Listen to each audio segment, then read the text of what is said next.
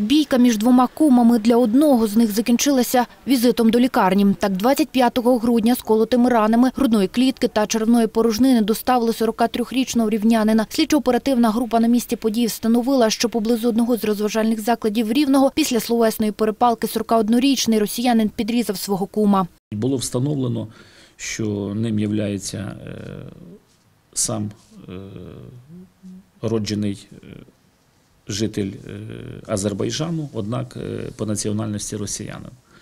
Значить, е, по гарячих слідах встановити місце знаходження його не вдалося, так як при перевірці місця проживання і родичів, і всіх, кому було відомо про те, де він може знаходитись, його там не було.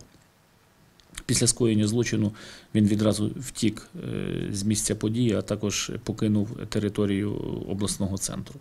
Відомо, що зловмисник переховувався у місті Скадовську Херсонської області. Там його й затримали правоохоронці 26 лютого. До чоловіка обрали міру запобіжного заходу у вигляді взяття під варту. Запобіжний захід види тримання під вартою строком на 60 днів, починаючи з 12 годин 26 лютого 17 року до 12 годин 27 квітня 17 року. Строк дії ухвали встановити до 12 годин 27 квітня 17 року. Ухвала слідчого судді підлягає на негайному виконанню після її оголошення. Ухвала може бути скаржена безпосередньо до апеляційного суду Рівненської області протягом 5 днів з дня її проголошення. Суд обрав вам запобіжний заход у виді тримання під вартою на 60 днів до 27 квітня 2017 року, враховуючи всі обставини, наведені прокурором та слідчим.